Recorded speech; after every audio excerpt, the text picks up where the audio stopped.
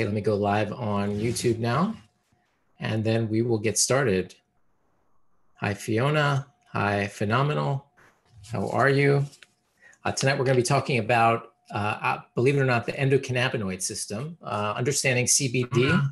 Hi, And uh, it looks How like we're live now on YouTube. Um, so essentially tonight we are speaking about the endocannabinoid system, which is basically been made very, very popular these days because it seems like CBD is everywhere. And believe it or not, tonight we're going to be talking about the system from the perspective that is not related to CBD. And one of my goals for tonight is for you to understand that the whole CBD phenomenon is over accentuated with um, this uh, emphasis on CBD and how CBD does everything, and you need cannabis, essentially, a form of cannabis, in order to be able to activate this system. Um, my goals for tonight are basically to, for you to understand what this system is, because it's a natural part of our bodies, what the what it does, um, and how to activate it without using cannabis.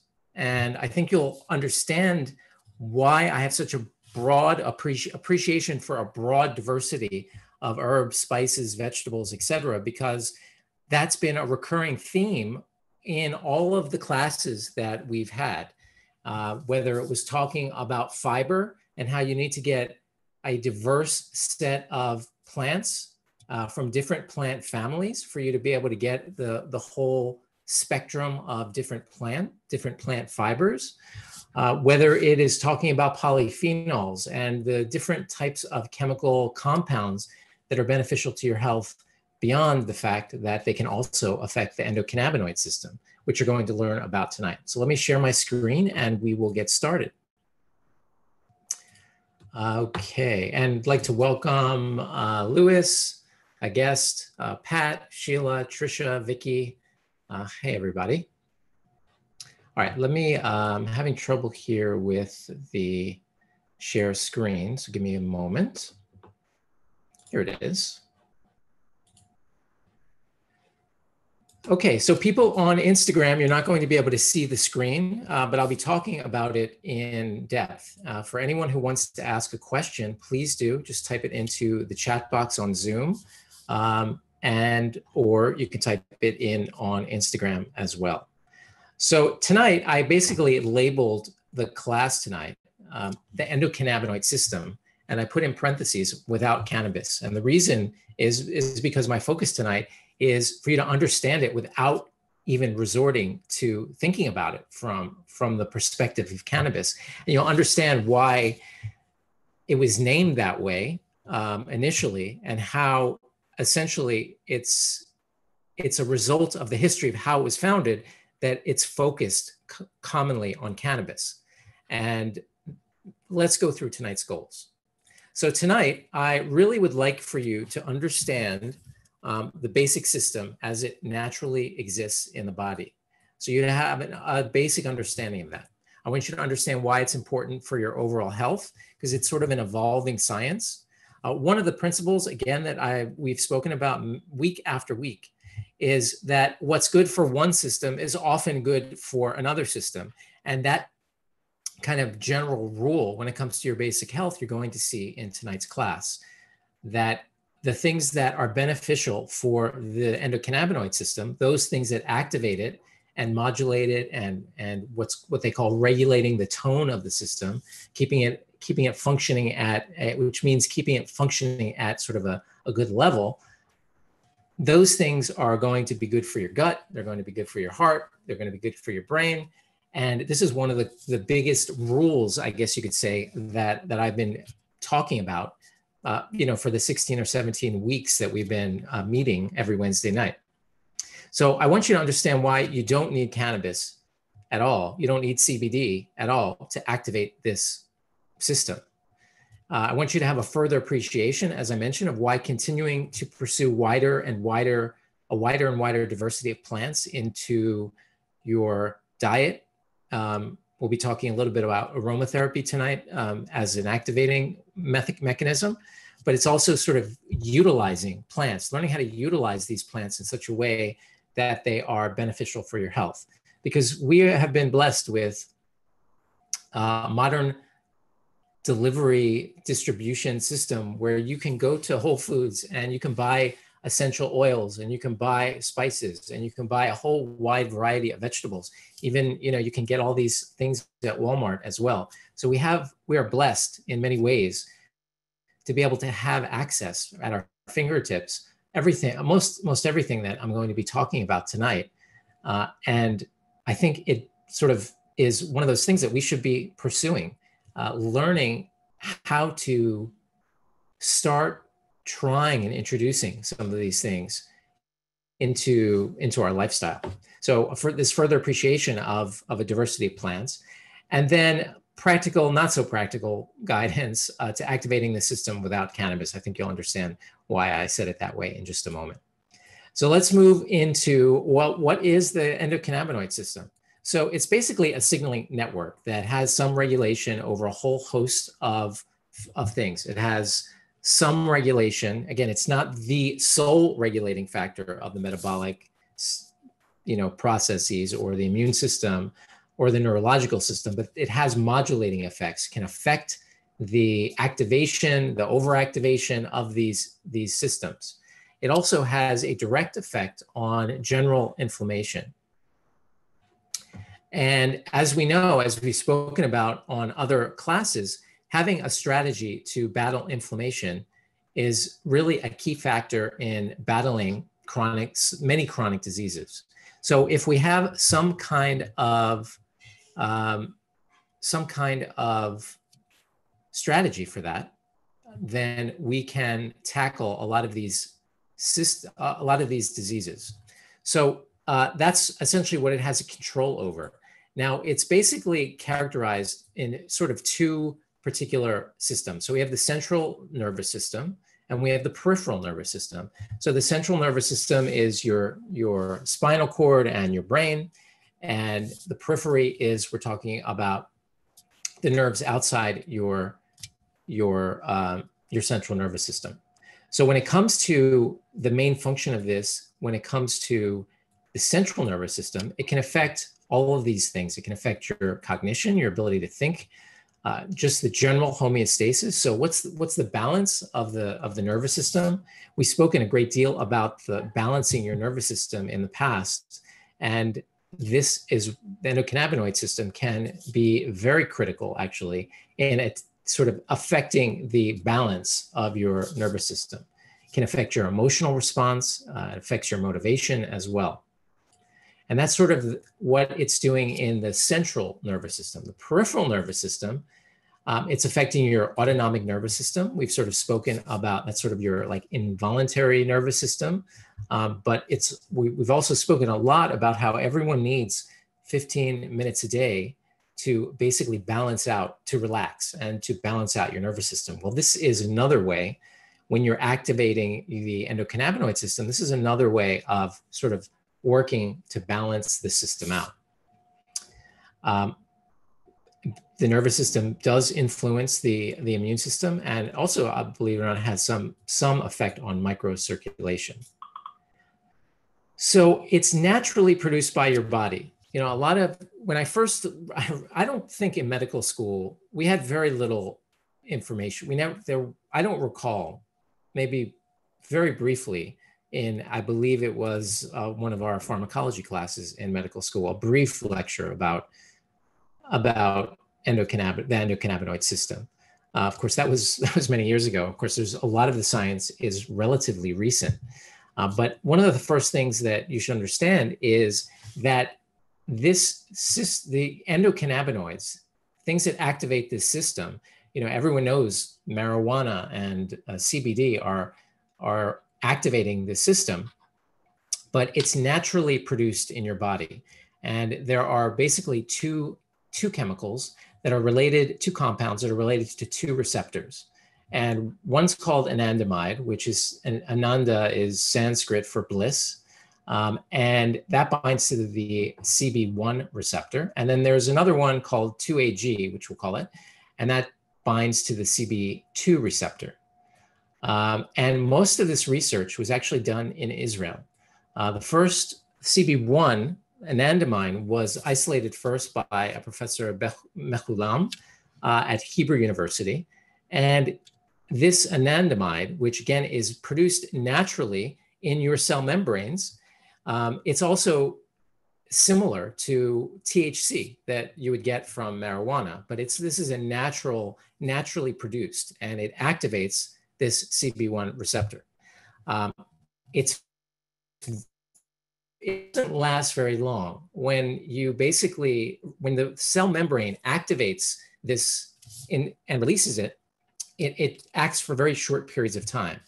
What Professor Mechoulam noticed was, was that uh, he discovered why THC, which is the psychoactive component of marijuana, he recognized that it's binding to this CB1 receptor, but he isolated anandamide, which is the natural, uh, the natural compound released by the body, uh, which basically naturally plays a role in feeding behavior, memory, motivation, pleasure. Um, it also activates receptors that affect pain sensation and uh, it's present for a very short period of time when it's broken down by a specific enzyme.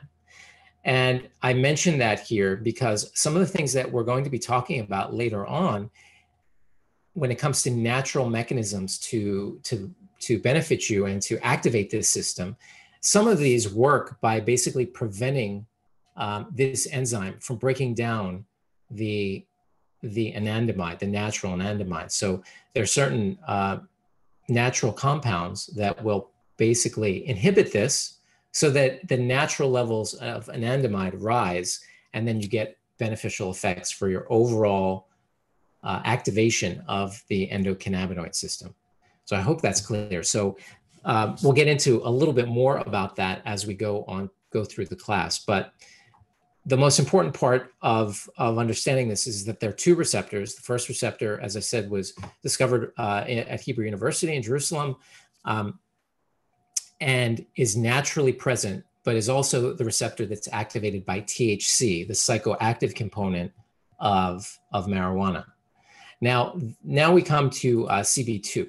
CB2 is also isolated in Israel by a doctor by the name of Shimon ben Shabat at Ben Gurion University. And I actually had the opportunity to visit not him, but Ben Gurion University probably around 10 years ago.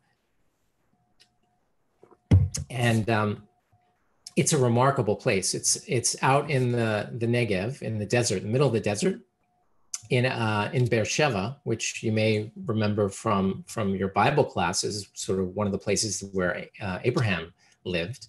And out of out in the middle of this desert is this town called Beersheba, that it, the university is really remarkable. Uh, it it it has all modern buildings and it's an incredibly diverse student body. They have uh, because they're in the middle of the desert. There are a lot of uh, Bedouin uh, university students, and I remember I sat in on a class where it was like recent immigrants from Morocco and Argentina, France, Ethiopia. So it was a pretty remarkable place, all studying at this really modern university. And they were able to connect me with uh, several doctors of my specialty. And I had dinner with them, a really remarkable place. Uh, but and most of the of the research surrounding the uh, endocannabinoid system is coming out of Israel. One because both uh, CB1 and CB2 were both isolated, uh, were both understood, I should say, and discovered in, in Israel. But in addition, there's very little stigma when it comes to, to hemp and marijuana.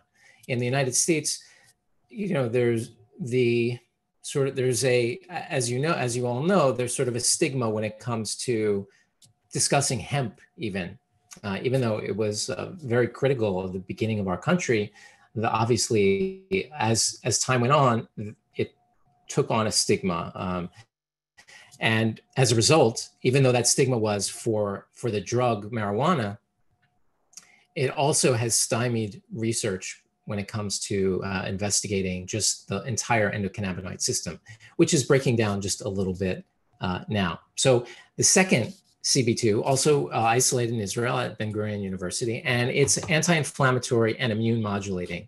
And we'll be spending most of the time tonight speaking about how to activate the endocrine, the non-CB1 uh, receptor. We're not talking really about the the um, directly talking about the CB1 receptor, but more talking about the entire endocannabinoid system. Uh, just let me look here. Uh, Sheila is calling in from Bend, Oregon. Uh, Dan is asking, does any of this contribute to what is referred to as a natural high? That's a that's Dan asking. That's um, a well, sometimes a natural high is just a, an endorphin release, but I can tell you that sometimes when you act when you really potently activate the the um, endocannabinoid system, you can get like an overall body well feeling of wellness that that makes that is somewhat like a natural high but usually the natural high is related specifically to endorphins and those are are different from um, from what we're talking about tonight. And so again anyone who has any questions please do put them right into the chat box. Okay so in summary before we move on uh, we have two receptors cb1 cb2 um, and CB1 is sort of the marijuana one, the THC, the one that gets you high. Uh, but it's important to remember that it's a natural, there's a chemical called anandamide that's naturally produced. Uh, these are both of these things are naturally produced in the body. It just so happens that THC, uh, marijuana, activates that receptor. The receptor is there for its own purposes. So, what basically is a cannabinoid? Which is a cannabinoid is basically a compound that, that can affect the, the cannabinoid receptors, that can affect this system. And they can be endogenous, which is what we just spoke about. Endogenous meaning within the body. So anandamide, that, that chemical is endogenous, it's produced by the body. But there's also th- things called phytocannabinoids. Phyto meaning plant, and cannabinoids meaning things that activate the cannabinoid system. And we'll be spending a lot of time for the rest of the class, for the most part, talking about phytocannabinoids beyond cannabis. Um, and they, it could have very well been the fact that when the professor in Israel discovered uh, this chemical and then found out that THC from cannabis activated it, if he had discovered another chemical, maybe one of these terpenes, it might have been called the endoterpenoid system. I mean, that, so that's basically what uh, the reason it got that name was because of the way the research evolved. The research evolved such that THC was the first compound that, that was discovered to activate it, which is related to cannabis. Um, so, in addition to the CB1 and CB2 receptors, there are also secondary receptors, which are called PPARs. And we're going to get into what those are. Um, but now we have three types of essentially ways of activating the system that we've come up with. We've come up with the endogenous as well as the uh, THC of the CB1. And then we have uh, the CB2. And now we have another receptor called PPAR. So now we have three receptors essentially that um, could be activated to act to activate the cannabinoid system. So let's talk now about uh, what I've labeled here the CBD surprise. It seems like CBD is in everything, and many of you have, may have tried CBD. Um, but it's interesting, you know, we just spoke about CB1 and CB2. So you might be thinking, well, it must activate one of these receptors. And the fact is, is that CBD actually doesn't really affect cannabinoid receptors. It works through a different mechanism. And it works through these PPARs that we spoke about, which are called peroxisome proliferator activated receptors, which I actually, um, I actually did research in medical school uh, uh, in PPARs many, many years ago. And also through its interaction through something called NF kappa B or nuclear factor B. And the NF kappa B is basically the inflammatory on off switch in your cells. That's one way of looking in, into it. It's essentially turned on when you have things like infections or you have an emotional, an excessive emotional response, like a fight or flight, metabolic stress when you, you know, you've essentially are eating poorly and, you know, your blood sugar is high. This can create a, a metabolic stress and that can turn on the inflammation in your cells. And it can be overactive. It can be overactive due to poor lifestyle.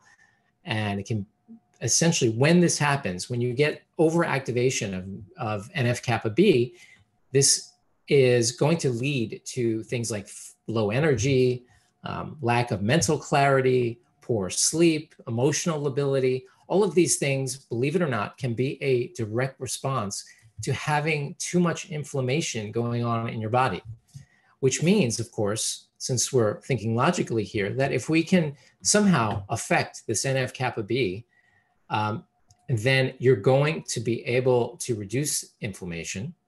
Um, and, and basically, we're leading back here to the fact that it's going to interact with the cannabinoid system.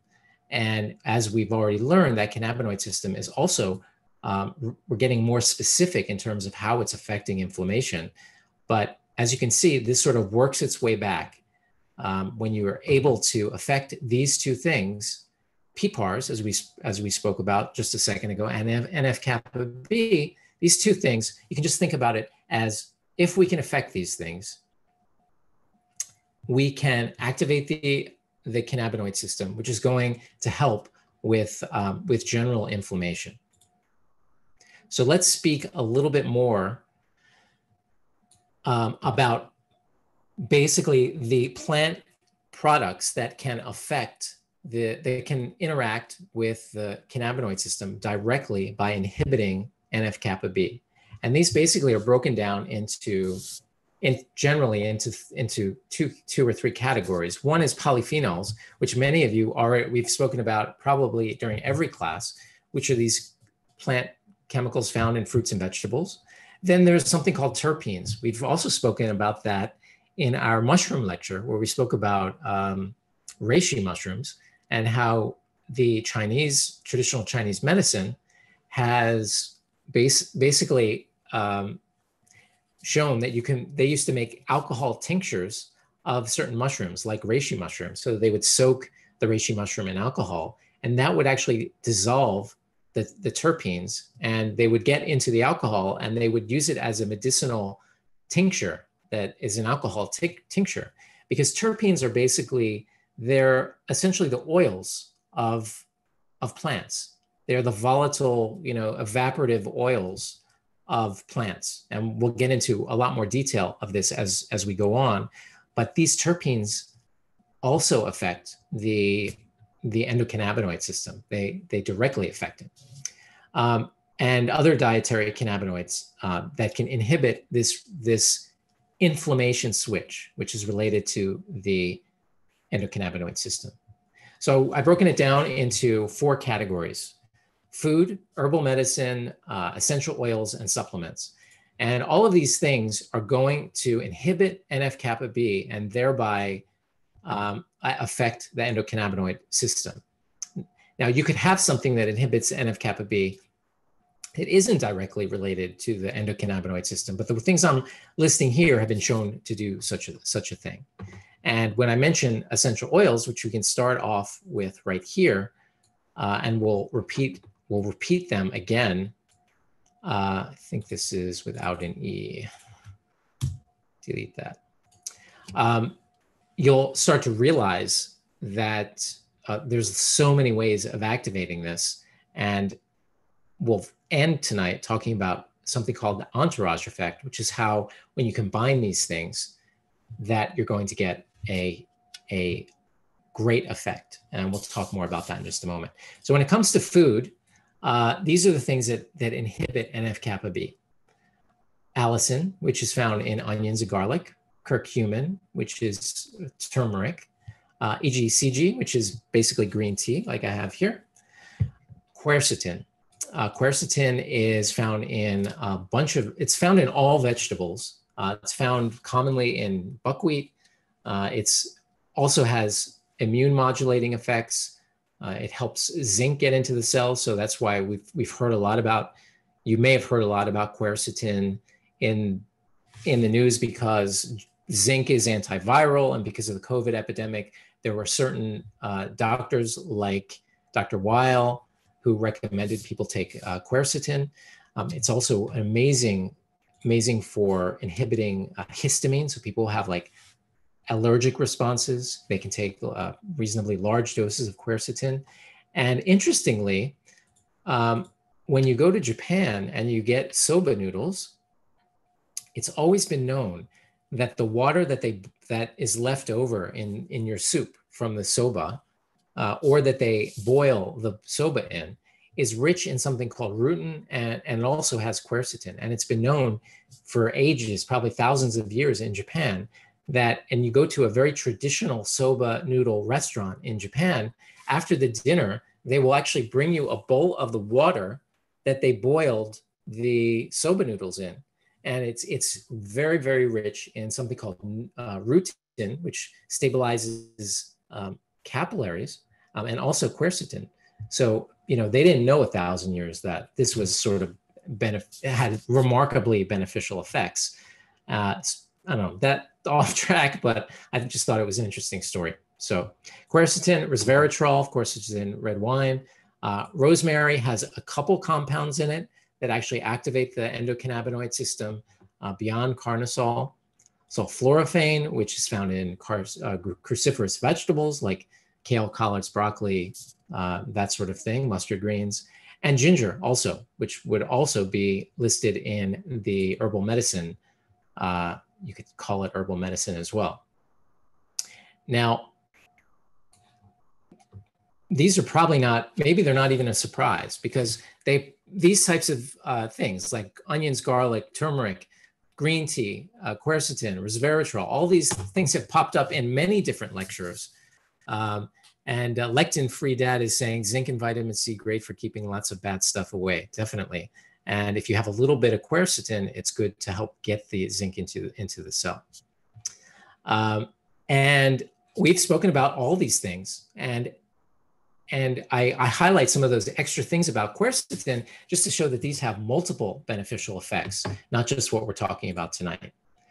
Now, when it comes to herbal medicine, ginkgo, ginkgolides, which is in like uh, uh, ginkgo biloba, silymarin, which is milk thistle, berberine, which is from uh, barberries, and allicin again, which it can also be considered a, an herbal medicine. Uh, also activate, also inhibit NF-kappa B and interact with the with the system. Now let's talk about essential oils.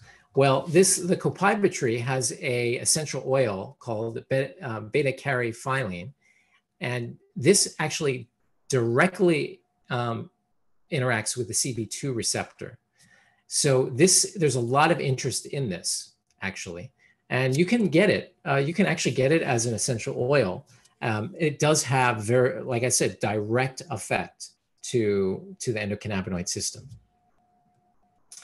Limonene, which is uh, no surprise uh, in terms of where it comes from, it's from citrus. Uh, lemon, it's essential essential oil of, of lemon, but limonene, uh, alpha pinene, like pine, sage, and eucalyptus. And you know, for me, as an example, I sometimes take a bath with eucalyptus scented uh, Epsom salts. And I don't know if you've ever been in a spa. I was in a spa like last year, and someone in the sauna was passing around uh, essential an eucalyptus oil, and there was something about like breathing in that eucalyptus oil and I don't think I knew that eucalyptus oil affected the endocannabinoid system, but it was almost instinctive that when you smelled this, you you know you you relaxed, you felt relaxed. Uh, it was it was really remarkable, and we know that this not only inhibits some of the inflammation associated with with what we're talking about, but it directly affects directly activates the endocannabinoid system. And um, myrcene, which is found in lavender and frankincense, all of these essential oils, um, in fact, can also be found in cannabis.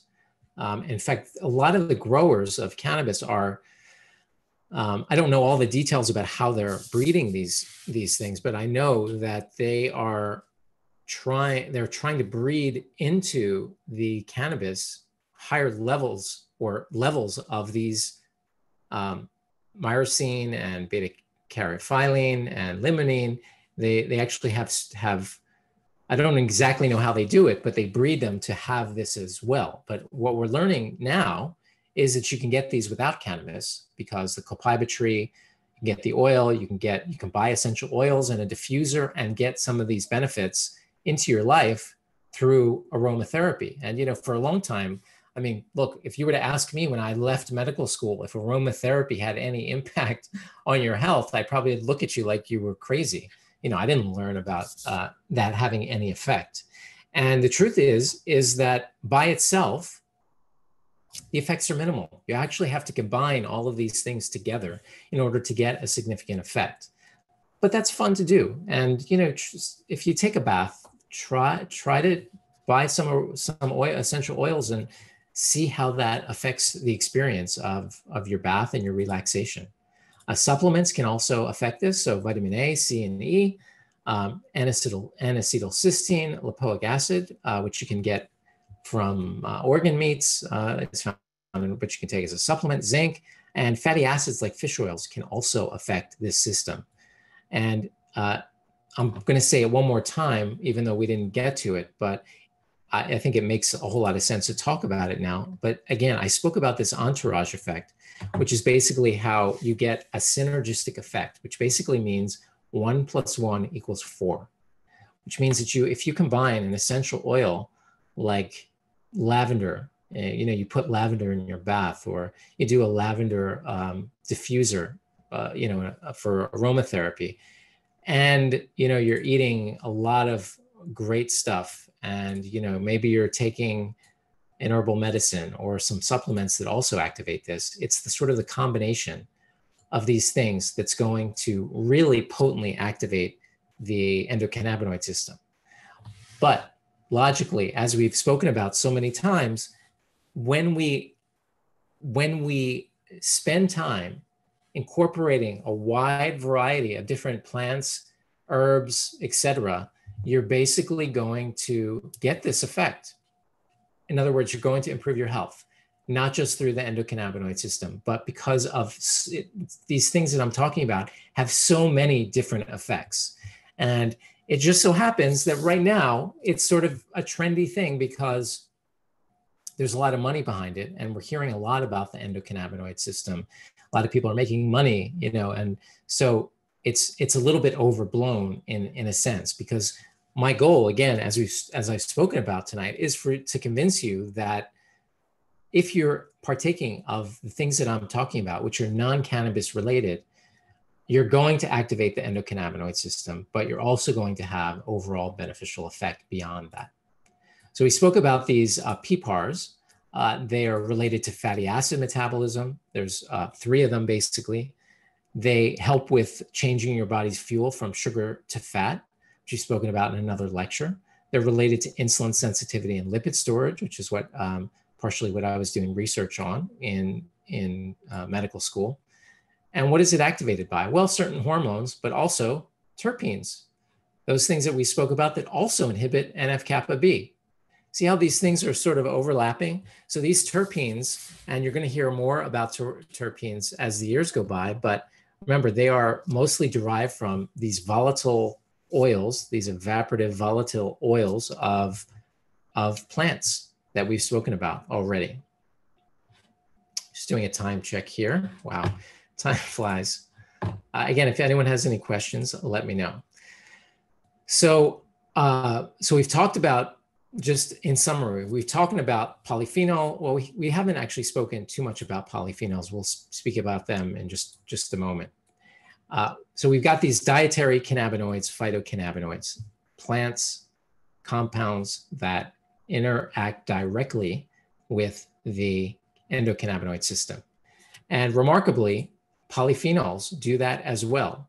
And again, you're not coffee, tea, uh, pigmented fruits, you know, quercetin again, have a direct impact. Uh, lignans, which are found in flax, uh, most commonly, lots of other vegetables, but also like things like sesame and kale also have lignans. These are all polyphenols. Now, again, you're not going to get activation, you're going to get activation, but you're not going to get significant activation unless you're combining the polyphenols that you're eating, which you should be eating, of course, all, all the time. Uh, you want to get all those pigmented fruits and vegetables into your diet. If you combine that with, say, lavender or citrus oil, that's going to help with anxiety and depression. And if you're eating a well-balanced, you know, meals as well as maybe taking a supplement or two that we spoke about, you're going to get this entourage effect, this one plus one equals four, which is then going to result in an active sort of activation of the endocannabinoid system. Uh, beta caryophyllene, which we spoke about from the uh, copaiba tree, but also is uh, this terpene is um, also found in oregano. So oregano oil, uh, cinnamon, black pepper also has it. And so we have to keep in mind that all of these things, which many of them, uh, again, we haven't spoken in, in this is, like I said, our 16th or 17th week. We've only spoken briefly about terpenes, but um, now we're speaking more about them because of this particular thing. We've spoken about the, the entourage effect and this synergistic effect, this one plus one equals four effect, um, and how these terpenes can interact directly with your receptors. And the way it works is because there are these oils, they actually sort of dissolve into the cell membranes and they allow the, they affect the permeability of the membrane, which means it makes it almost more liquid so that the other things that we're talking about, like the polyphenols, and you know all the things that we spoke about up here with this with additionally with central uh, essential oils and herbal medicine the the terpenes are going to allow them to penetrate through the cell. And that's partly why it makes it more beneficial more synergistic as we've as we've spoken about and i wanted to end tonight with something that is being discussed and written about, and that's mm-hmm. what's called the endocannabinoid deficiency syndrome. And first of all, it's good to know that there, that enzyme that we spoke about earlier that breaks down anandamide, there are genetic polymorphisms where some people have too much, they have an overactive enzyme where they break down the natural anandamide, that natural bliss chemical, they break it down uh, too fast which means that it can lead to low levels of the of activation of the endocannabinoid system. And you can actually test your gene for that. I do essentially a, uh, a nutrigenomics panel on a lot of my patients. And that's one of the things we test for. And in that case, for those people, it's important to uh, they could certainly try CBD if they want, but as you can all tell, my goal here is to convince you that for optimal health, yes, you should pay attention to the endocannabinoid system, but you should do so through polyphenols and terpenes and those sorts of things without having to necessarily resort to to CBD. You can certainly try CBD. There's no nothing wrong with that, but it's an, an emphasis on just one one particular pathway. And with this, you get multiple pathways. We're finding that this endocannabinoid deficiency syndrome, which is still not, it's sort of more of a, of a not a well-defined type of thing.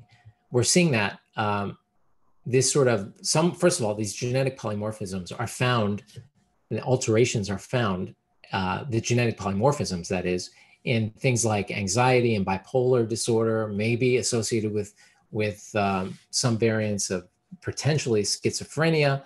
But the fact is, is that uh, sometimes these genetic polymorphisms are affecting the endocannabinoid tone. And if the person is essentially not taking care of themselves and has activation of that NF kappa B through poor diet, that's going to increase general inflammation. And the way to get things back is to think about things from one way from through the lens of the endocannabinoid system and activating it, like we've spoken about. Uh, some people are postulating that it may contribute to things like migraine and fibromyalgia, MS, and a whole host of, of other things. So these are the things I wanted to talk about tonight. Uh, we are at 840, which is what I was hoping to, to do. And I wanted to review very, very briefly what we spoke about and go through the goals that that we had at the very beginning. So my one of my first goal tonight was for you to understand that this is a basic system of the body. And I and I think everyone now understands that this is a natural part of, of our body. I secondly wanted to talk about why it's important for your overall health specifically about how we've learned tonight that it's important for affecting pathways of inflammation that also affect your immune system as well. And uh, this inflammation, of course, is can this overactivation of the immune system as well is associated with a lot of autoimmune diseases as well. So there are a lot of people who are looking into modulating and affecting the endocannabinoid system as a way of regulating some of the overactivation of the immune system in in autoimmune disease. Um, so you understand now specifically why you don't need cannabis to activate this system. In fact, I think because of the multiple benefits of all those plant-based compounds that we spoke about, I think you're better off if if you've decided you want to say experiment with the endocannabinoid system, which is usually someone saying, oh, you know, I think I want to try CBD, which is fine. Um, realize that you can have that effect by including this diverse set of polyphenols and terpenes and trying aromatherapy and all these different vegetables and such. Uh, my fourth goal was for you to have a further appreciation of why we need to continue if we're looking for health optimization to pursue wider and wider diver, a wider and wider diversity of plants. And thinking about the plant kingdom as a medicinal kingdom. In fact you know one of the things i didn't mention was that they did this study where they tested um, Chi- traditional chinese medicine. And something like 50% of the medicines which are basically a whole mess of mushrooms and herbs and such, um, were essentially activating um, the PPAR system or inhibiting NF kappa B. So they they had they were on you know this ancient type of practice was sort of already familiar, not with the definition or the outline of what it looks like today, but they sort of had some some knowledge. And then we spoke a little bit about how to activate the system with without cannabis, with particular focus on this entourage effect. You can't just try, well, you can just try a diffuser and some some essential oils, but you're better off working with all of these things together to get a one plus one equals four effect. So that is the endocannabinoid system without cannabis. Uh, next week, thank you all for, uh, for your attendance and sticking around. Um, I wanted to talk about um, next week. So next week, we're going to be talking about menopause um, and also something called andropause. We'll be mostly speaking about menopause, but andropause is essentially what happens to men when they get older and their testosterone drops. And it's important for men to know that there's such a thing and to realize that there's certain things that they can do about it. Um, but most of the time, probably the majority of the class will be talking about menopause, what it is, um, how to modify it, uh, how to restore metabolism uh, by understanding the system. Uh, and I think, you know, I think it's a very interesting thing. Uh, we're all living a lot longer and essentially the body itself is when you sort of start looking at how the body works and you see sort of this hormonal decline as you get older. You know it makes you almost think that you know the body was like not meant to to to live that long. But the truth is is that when you have a clear understanding of why it's happening and what is actually happening that opinion that you know you're just sort of in this never ending decline that opinion can be can be reversed. And you can sort of start to see why through all the things that we're talking about, we can really get to a point where aging and hormonal changes can be all modified, understood without having to resort to, you know, overt things like hormonal manipulation and such, just through uh, through lifestyle and and understanding what's going on during that process sort of helps you helps you with that. So I think it's a very interesting topic for most people. And I look forward to uh, seeing you next week, always at uh, 8 o'clock Eastern Standard Time. And um, what can I say? Thank you all for, for attending tonight. Um, and just looking at the comments, thank you, Pat. wish all of you uh, good night, good health, and I'll see you next next um, next Wednesday. Have a great night. Bye bye.